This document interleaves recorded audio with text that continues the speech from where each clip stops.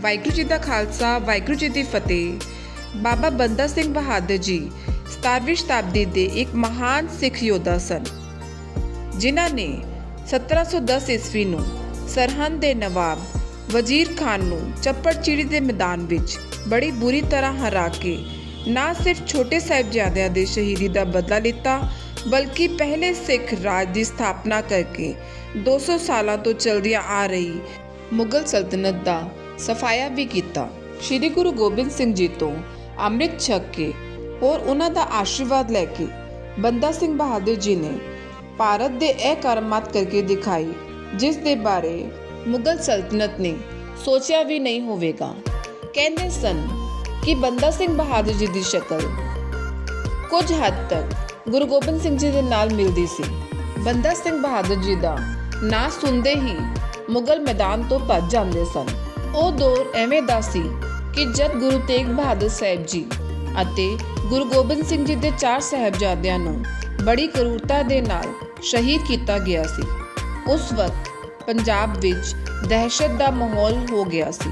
ਉਹ ਵਕਤ ਗੁਰੂ ਗੋਬਿੰਦ ਸਿੰਘ ਜੀ ਨੇ ਹਾਲਾਤ ਨੂੰ ਵੇਖਦੇ ਹੋਏ ਬੰਦਾ ਸਿੰਘ ਬਹਾਦਰ ਜੀ ਨੂੰ ਆਪਣੇ ਪੰਜ ਤੀਰ, ਨਗਾੜਾ, ਨਿਸ਼ਾਨ ਸਾਹਿਬ ਅਤੇ ਪੰਜ ਪਿਆਰੇ ਸਿੱਖ ਦੇ ਕੇ ਪੰਜਾਬ ਵੱਲ ਤੋਰ ਦਿੱਤਾ। ਪੰਜਾਬ ਪਹੁੰਚ ਕੇ ਬੰਦਾ ਸਿੰਘ ਬਹਾਦਰ ਜੀ ਸੋਨੀਪਤ ਪਹੁੰਚੇ।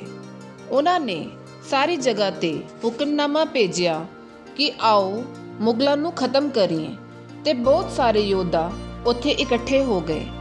ਬੰਦਾ ਸਿੰਘ ਬਹਾਦਰ ਜੀ ਨੇ ਪਹਿਲੇ ਸੋਨੀਪਤ ਵਿੱਚ ਜੀਤ ਹਾਸਲ ਕੀਤੀ ਅਤੇ ਹੋਰ ਜਗ੍ਹਾ ਤੇ ਜਾ ਕੇ ਹਮਲੇ ਕੀਤੇ ਤੇ ਮੁਗਲਾਂ ਦਾ ਸਾਰਾ ਖਜ਼ਾਨਾ ਆਪ ਹਾਸਲ ਕਰ ਲਿਆ। ਉਹਨਾਂ ਨੇ ਬਹੁਤ ਸਾਰੇ ਮੁਗਲਾਂ ਦਾ ਸਫਾਇਆ ਕੀਤਾ ਅਤੇ ਉਹਨਾਂ ਦੇ ਸਾਰੇ ਹਥਿਆਰ ਹੋਰ ਧਨ ਲੈ ਕੇ ਆਪਣੇ ਸਾਰੇ ਸਿੱਖਾਂ ਵਿੱਚ ਵੰਡ ਦਿੱਤਾ।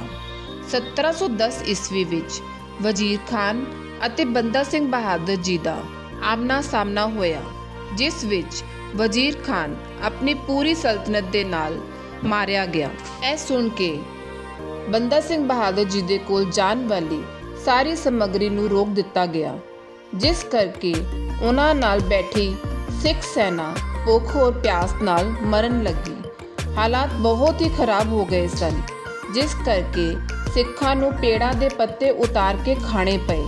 ਆਖਿਰ ਵਿੱਚ 7 ਸਤੰਬਰ 1715 ਈਸਵੀ ਨੂੰ ਮੁਗਲਾਂ ਨੇ ਪੂਰੀ ਤਰ੍ਹਾਂ ਕਬਜ਼ਾ ਕਰ ਲਿਆ ਅਤੇ ਸਿੱਖ ਸੈਨਾ ਸਮੇਤ ਬੰਦਾ ਸਿੰਘ ਬਹਾਦਰ ਜੀ ਨੂੰ ਗ੍ਰਿਫਤਾਰ ਕਰ ਲਿਆ। ਉਹਨਾਂ ਨੂੰ 29 ਫਰਵਰੀ 1716 ਈਸਵੀ ਨੂੰ ਦਿੱਲੀ ਲਿਜਾਇਆ ਗਿਆ। ਹਰ ਦਿਨ ਸਿੱਖਾਂ ਨੂੰ ਮਾਰਿਆ ਜਾਂਦਾ। ਬੰਦਾ ਸਿੰਘ ਬਹਾਦਰ ਜੀ ਨੂੰ ਉਹਨਾਂ ਦੀ ਪਤਨੀ ਅਤੇ 4 ਸਾਲ ਦੇ ਬੱਚੇ ਨਾਲ ਕੁਤਬ ਮੀਨਾਰ ਦੇ ਕੋਲ ਖਵਾਜਾ ਖਤਿਆਰ ਕਾਕੀ ਦੀ ਦਰਗਾਹ ਵਿੱਚ ਲਿਆਇਆ ਗਿਆ। ਉਹਨਾਂ ਦੇ ਨਾਲ ਉਹਨਾਂ ਦੇ 19 ਸਿੰਘ ਵੀ ਸਨ। ਉਹਨਾਂ ਨੂੰ ਧਰਮ ਪਰਿਵਰਤਨ ਲਈ ਮਜਬੂਰ ਕੀਤਾ ਗਿਆ। ਪਰ ਉਹਨਾਂ ਨੇ ਉਹਨਾਂ ਦੀ ਇੱਕ ਗੱਲ ਨਾ ਸੁਣੀ। 9 ਜੂਨ 1716 ਈਸਵੀ ਵਿੱਚ ਬੰਦਾ ਸਿੰਘ ਬਹਾਦਰ ਜੀ ਅਤੇ ਉਹਨਾਂ ਦੇ ਪੁੱਤਰ ਅਜੇ ਸਿੰਘ ਜੀ ਨੂੰ, ਉਹਨਾਂ ਦੀ ਪਤਨੀ ਤੇ 19 ਸਿੰਘਾਂ ਨੂੰ ਸ਼ਹੀਦ ਕਰ ਦਿੱਤਾ ਗਿਆ। ਕਿਹਾ ਜਾਂਦਾ ਹੈ ਕਿ ਬੰਦਾ ਸਿੰਘ ਬਹਾਦਰ ਜੀ ਨੂੰ ਸ਼ਹੀਦ ਕਰਨ ਤੋਂ ਪਹਿਲਾਂ ਉਹਨਾਂ ਦੇ 4 ਸਾਲ ਦੇ ਪੁੱਤਰ ਨੂੰ ਉਹਨਾਂ ਦੀ ਅੱਖਾਂ ਦੇ ਸਾਹਮਣੇ ਸ਼ਹੀਦ ਕਰ ਦਿੱਤਾ ਗਿਆ ਅਤੇ ਪੁੱਤਰ ਦਾ ਤੜਫਦਾ ਹੋਇਆ ਦਿਲ ਉਹਨਾਂ ਦੇ ਮੂੰਹ ਵਿੱਚ ਪਾਇਆ ਗਿਆ। ਕਿਹਾ ਜਾਂਦਾ ਹੈ ਕਿ ਬੰਦਾ ਸਿੰਘ ਬਹਾਦਰ ਜੀ ਦੇ ਸਰੀਰ ਦੇ ਟੁਕੜੇ-ਟੁਕੜੇ ਕਰ ਦਿੱਤੇ ਗਏ। ਉਹਨਾਂ ਦੇ ਆਪਣੇ ਨਾਲ ਆਪਣਾ ਪਰਿਵਾਰ ਵੀ ਕੁਰਬਾਨ ਕਰ ਦਿੱਤਾ। ਸਾਨੂੰ ਹਮੇਸ਼ਾ ਮਹਾਨ ਯੋਧਾ ਦੀ ਕੁਰਬਾਨੀ ਯਾਦ ਰੱਖਣੀ ਚਾਹੀਦੀ ਹੈ। ਡਾਕਟਰ ਗੰਡਾ ਸਿੰਘ ਜੀ ਨੂੰ ਇਹ ਤਸਵੀਰ 1933 ਵਿੱਚ ਪਟਨਾ ਵਿਖੇ ਮੁਗਲ ਪਾਤਸ਼ਾਹ ਅਤੇ ਹੋਰ ਪ੍ਰਸਿੱਧ ਸ਼ਾਹੀ ਅਧਿਕਾਰੀਆਂ ਦੀਆਂ ਫੋਟੋਆਂ ਦੇ ਸੰਗ੍ਰਹਿ ਵਿੱਚ ਮਿਲੀ ਸੀ। ਤਸਵੀਰ ਉਹਨਾਂ ਦੇ ਸ਼ਹੀਦੀ ਦਿਹਾੜੇ ਦੀ ਹੈ।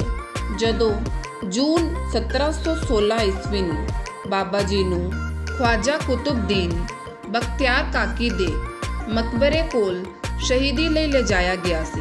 ਲਾਲ ਗਰਮ ਚਿਮਟੀਆਂ ਨਾਲ ਉਹਨਾਂ ਦੇ ਮਾਸ ਨੂੰ ਪਾਣਨ ਲਈ ਉਹਨਾਂ ਦੇ ਕੱਪੜੇ ਉਤਾਰ ਦਿੱਤੇ ਗਏ ਸਨ। ਉਹ ਭੁੱਖ ਅਤੇ ਤਸੀਹੇ ਕਾਰਨ ਇੰਨੇ ਕਮਜ਼ੋਰ ਹੋ ਗਏ ਸਨ ਕਿ ਉਹਨਾਂ ਦੇ ਖੜੇ ਹੋਣ ਲਈ ਸੋਟੀ ਦੀ ਲੋੜ ਸੀ। ਬਾਬਾ ਬੰਦਰ ਸਿੰਘ ਬਹਾਦਰ ਜੀ ਦਾ ਸਿਰ ਵੱਢ ਦਿੱਤਾ ਗਿਆ ਸੀ ਅਤੇ ਅਤੇ ਉਹਨਾਂ ਦੇ ਅੰਗਾਂ ਦੇ ਟੁਕੜੇ-ਟੁਕੜੇ ਕਰ ਦਿੱਤੇ ਗਏ ਸਨ। ਇਸ ਤਰ੍ਹਾਂ ਬਾਬਾ ਜੀ ਨੂੰ ਤਸੀਹੇ ਦੇ ਕੇ ਸ਼ਹੀਦ ਕੀਤਾ ਗਿਆ। ਅਗਰ ਆਪ ਸਭ ਨੂੰ ਇਹ ਉਪਰਾਲਾ ਚੰਗਾ ਲੱਗੇ, ਤਾਂ ਇਹ ਚੈਨਲ ਨੂੰ ਸਬਸਕ੍ਰਾਈਬ ਕਰੋ, ਲਾਈਕ ਕਰੋ ਅਤੇ ਸ਼ੇਅਰ ਕਰੋ, ਤਾਂ ਕਿ ਸਾਡਾ ਇਹ ਸਿੱਖੀ ਇਤਿਹਾਸ ਸਾਰੇ ਭੈਣ ਭਰਾਵਾਂ ਤੱਕ ਪਹੁੰਚ ਸਕੇ। ਵਾਹਿਗੁਰੂ ਜੀ ਦਾ ਖਾਲਸਾ, ਵਾਹਿਗੁਰੂ ਜੀ ਦੀ ਫਤਿਹ।